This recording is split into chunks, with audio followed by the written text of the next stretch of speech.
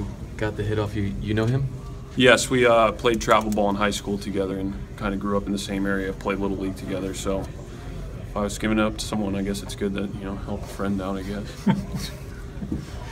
So you, you were literally on the same little league team. no, we just, we knew each other growing up. He was a year younger than me, and then uh, we played travel ball for a year or two together.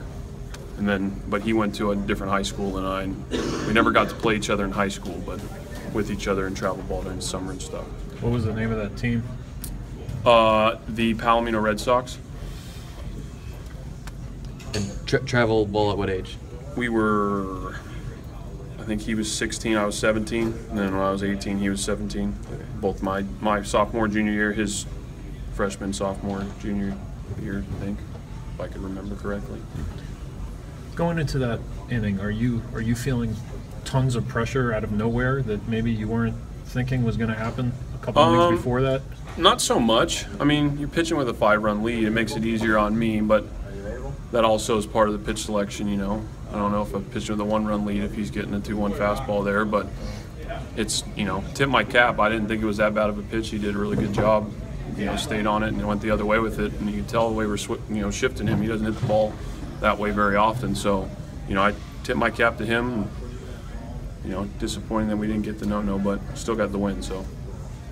Yeah, about that, the quick response of this team, you know, after last night, you know, the, how it turned out. Yeah, I mean, I think that that's just baseball. You know, we all we know there's a lot of games, and after a long travel day, not to make excuses, but we are a little lethargic. But came out today and saw the bats were hot early, and then you know Chen was amazing out there, and so it's too bad we couldn't finish it off for him. Seems like just talking to some of the guys, they they seemed just no question on board with Donnie's decision.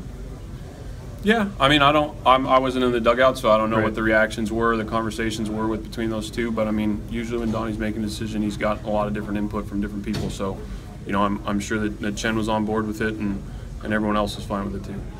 Do you have any sort of relationship with Haniger now through the years? Touch base in the off season or work out together or anything? Everything. I mean, we see each other every once in a while. We actually just saw each other this offseason at an award banquet in the Bay Area, Okay. and you know, talked a little bit, but not not as much as I would have thought because Right. we you know kind of got caught up in the whole you know talking to everyone else that was there. So, you know, but you know, see him every once in a while, see him around, say hi. Probably say hey during BP this week at all, or I tried to go out Right. today, and I, I don't know if he hit the first group, but he wasn't out there, so I haven't really talked to him. I texted him after the game, said, "Yeah, good piece of hitting.